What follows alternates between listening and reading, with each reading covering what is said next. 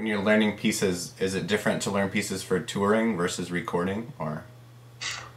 No, not so much. I, have gotten better, I think. I, I, mean, I've gotten better at being able to take a piece that I'm going to record. Because sometimes, you know, there's there's a lot of things that, that are on the CDs that I'm I don't perform regularly. I may, you know, if I'm sort of re-engaged uh, and there's a request or something like that for a, a particular piece, I may honor that request or you know there's there's many different things that come into play professionally but anything that I record I always have a certain amount of performances public performances to kind of get it in that sort of live you know setting as much as possible. I mean it's still there's it's it's not possible there's you know to play a piece of music you know 50 times in concert before recording is great. I mean that's really you know fantastic. And thankfully with the with the bach uh, i was able to do that with a lot of those things. But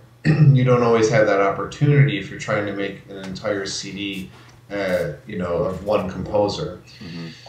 so um, but we were able to we were able to do that. Uh, you know, I always make sure I have enough sort of you know try to get it into the live uh, arena, if you will, because my live playing is has a, has a very much a diff I think a very a different energy than um, just something sort of sitting down and recording it, learning a piece and recording it. I think it, it needs to have that that um, it, it needs to have that feel of a live performance uh, sort of to grab the listener right away uh, and and uh, to you know to keep them engaged and and really the performance is, is where you learn to do that with every piece. Mm-hmm.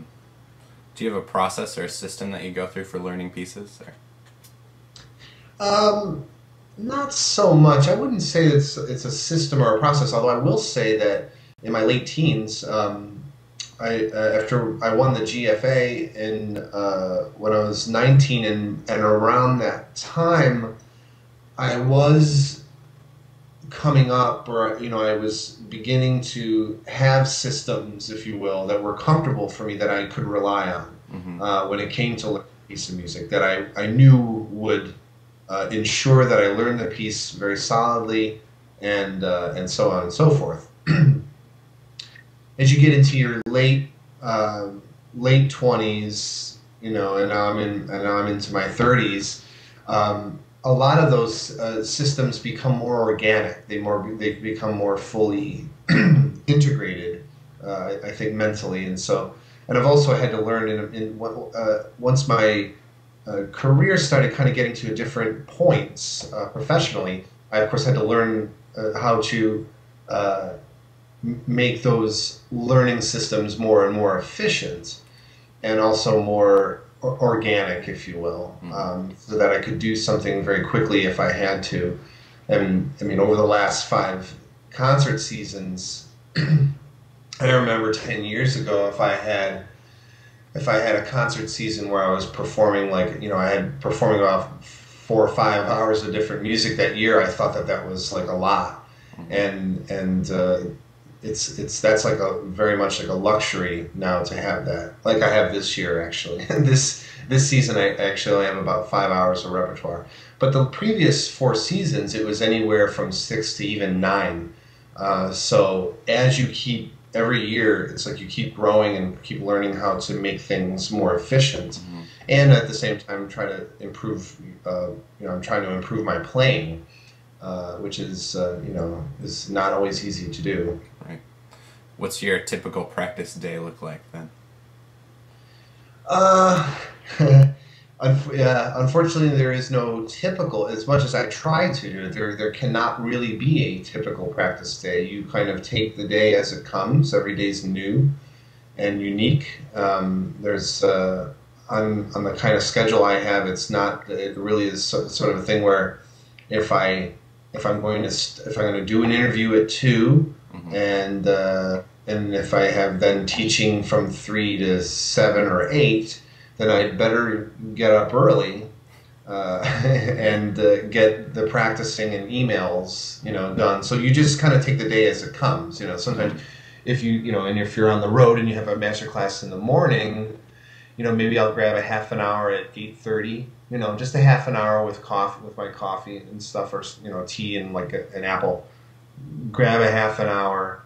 Then I feel again like my brain is sort of like engaged in the act of playing and and breaking things down and solving problems, and then I can te- and then I teach better that way too. So then, that say we have a ten o'clock master class, then there's lunch, then I can get an hour in, and so you just every day you're just start you're kind of like in this mode of thinking like okay this is how the day is going to go if I'm going to get everything done today.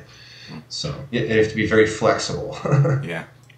Well, let's talk about your teaching a little bit. Um, what, Sure. are, what are some of your what are some of the common problems that you see with students, like musical or technical issues?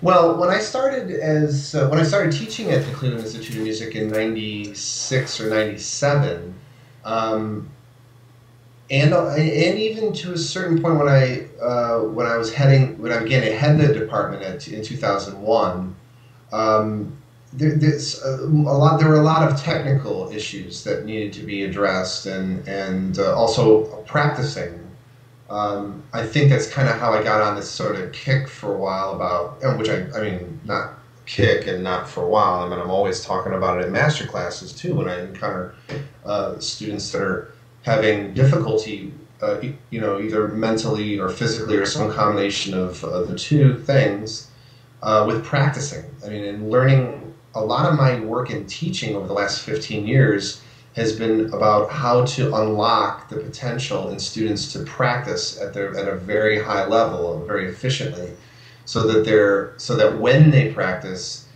they are gleaning a lot of nutrients from the score if you will like uh, sort of like they're steaming their vegetables rather than microwaving them.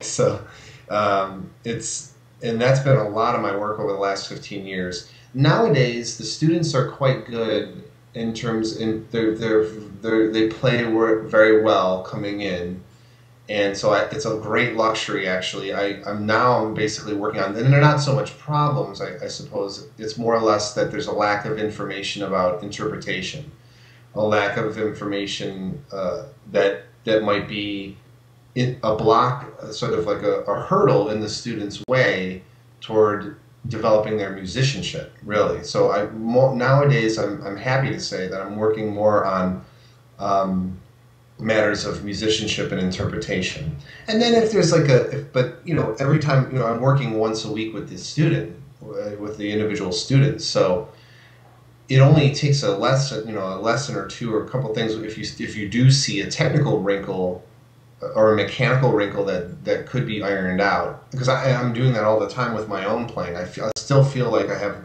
you know, uh, a lot to uh, discover in my own playing, and I'm passing the, that information directly on to my students, like as it ha- as it happens. Yeah. Um, so in a way, I kind of feel like we're all learning together. You know.